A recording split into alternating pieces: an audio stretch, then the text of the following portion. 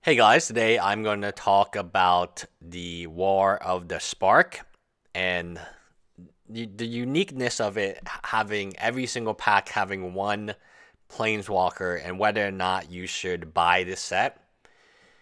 People are selling Ultimate Masters for very close to very close to what they're buying it at. So that tells me that people are preparing, including stores and big box retailers, are preparing to for this war of the sparks, which is targeting towards casual players. What do I mean by casual players? I mean we have a set Dominaria, and that set had 60 plus legends. What do casual players like? They like legends. Okay, good. What else do casual players like? They like guilds. Okay, let's go back to Ravnica for the third time. What do casual players like? They like planeswalkers. Okay, let's make a set of planeswalkers. And the fascinating part, when I look at the two Ravnica sets, um, and this being the third set, typically the third set isn't as strong.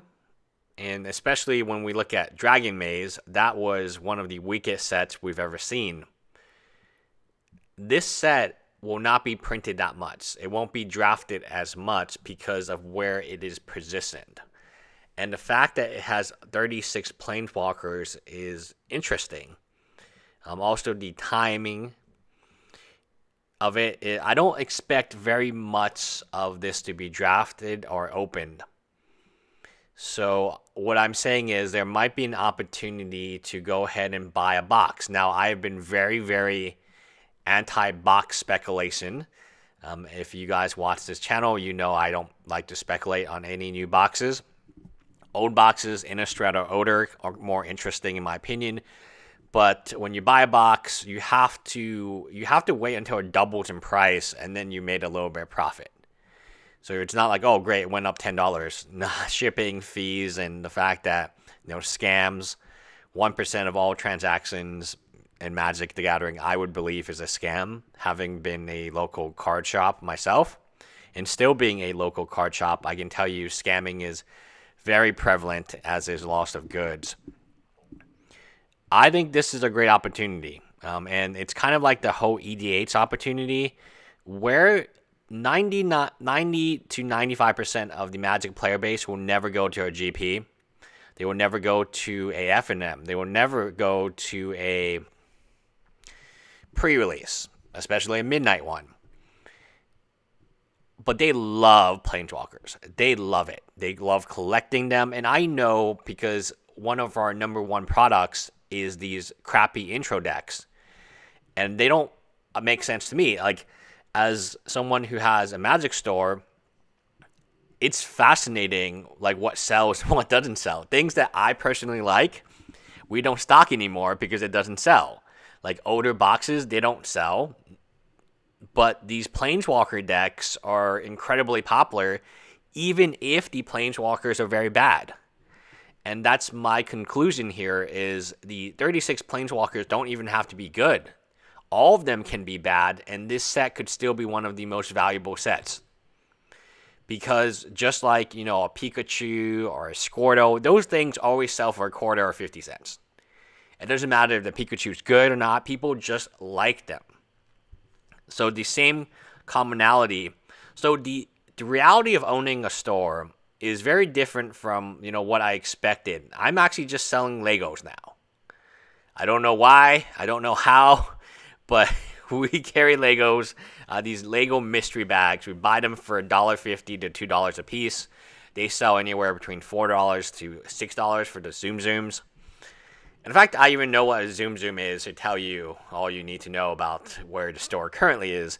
I expected just to carry like, you know, high end magic product, almost like other YouTubers where they're fancy, you know, old sets. And, you know, I was expecting all these dual lands to come in my store so I can buy them for 80% and then flip them very quickly. And that never happened. We sell Pokemon tins, we sell Legos, and we sell Planeswalker decks. And I'm very excited for the Planeswalker deck because I know that will sell. Anything else, I don't know. Mox Amber, I don't know. Con You know, like that's not the type of product that a casual player or an ordinary Magic player would even be interested in. An ordinary Magic player is interest, interested in the Pikachu's and Squirtles and Charizards. So it doesn't matter what the Charizard looks like, it's just got to be a Charizard, and you can sell the card for a few dollars. And that's the same with Planeswalker. It doesn't matter what the Planeswalker looks like. So I've sold some terrible Planeswalkers, and people still buy up because it's cheap, it's iconic, and it's very easy for them to buy. It's easy for them to mentally say, "Hey, I want to buy this Planeswalker deck." And I take the, you know, for for instance, if they want to spend seven bucks, I'll sell them the, just the Planeswalker deck. I get to keep the code, and you know maybe they get one pack or two packs. I don't know. Those things are only going to increase in value. I made a very big bet on Planeswalkers especially the uh, Ravnica Planeswalkers, because of the MTG Arena codes in them. So the only way for you to get these cards are MTG Arena codes. You couldn't actually open that Planeswalker via a ordinary booster pack that you would use the gems and the coins and all that fun stuff to get. So I'm I'm hedging. Like I'm saying that's a gamble and I will take a gamble on War of the Spark. This is the first product that I look at and I say I can actually sell this product. It makes sense from a store perspective. You can buy tons of planeswalkers in, so your ability to buy planeswalkers is really easy now. Uh, one of the things that I had trouble with in my store was the best collection that came in was worth four hundred dollars. An average collection is worth like fifty dollars, and a person wants 400 for it.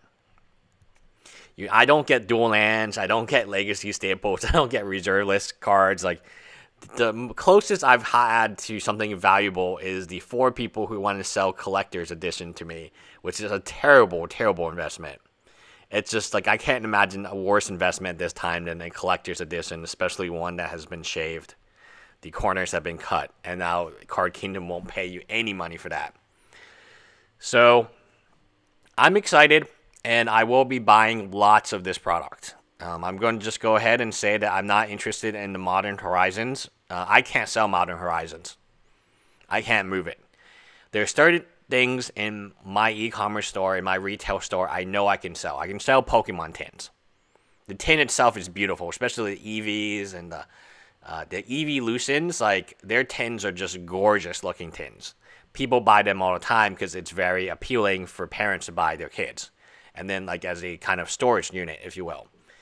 Planeswalker decks, they sell, especially the two Ravnica ones. So there's actually four. There's uh, Vraska, Ral Izzet, and then there's the other two that I'm forgetting right now. I think, what's the other, the Gruul one? Anyway, there's two blues and two yellows. I have a lot of yellows. I'm going to accumulate a lot of blues. I'm betting that that code will become valuable in the future. And you might be like, oh, it will never become valuable in the future because it's just this widely printed set. And I don't think that many of those things exist. I think Planeswalker decks do not exist in the capacity that most people think they do. And I think the demand for them is actually much higher. And I have studied it, um, at least in my area I would have never expected these things to sell, but they're the only things that are selling. Booster packs don't sell well. Boxes sell terribly because uh, the first thing someone thinks of is, oh, let me buy a box online. I think it also has to do with the shipping fee. So um, when you buy boxes online, you have free shipping.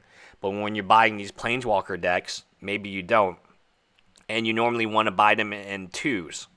So if you want to buy Vraska, you'll buy Ral Izzet as well. And the codes, that's the key. I didn't even know these things had codes until like a customer told me that's why he wanted to buy so many. But you're only allowed to use one. So the codes are unique. They're redeemable. They're different. But you can only use one code per deck per account. So it's not like you buy four Vraska starter kits and then you get four of each of those things. But anyway, if you want to follow my adventure, uh, follow my blog. I will have vlogs on this channel of our daily card shop life. and there will be editing, and that's why we got this very fancy editing computer. And I'm committed to it. I'm fully committed to it. I have the time. I have the staff. I think you're going to really enjoy the rest of the staff. And basically, it was a negotiation for me to stay on with this company instead of me leaving for a different company, a different executive job. They would have to uh, make the office version. We're going to call it the startup and it'll just be like an office parody because a lot of actually crazy stuff go- is going on. My sister's, um, I don't know what my relationship to him would be, but anyway, he's like a teenager, and then he's going to like stay over in my home for five days, and he's he's just like a high school teenage magic nerd, and he's very excited. Um, so I will definitely film some of that because uh, we do have summer interns coming in, and they've been a blast. We had a summer intern from University of Houston, and then we had one from uh, who took a lot of pictures of me in the events that we did.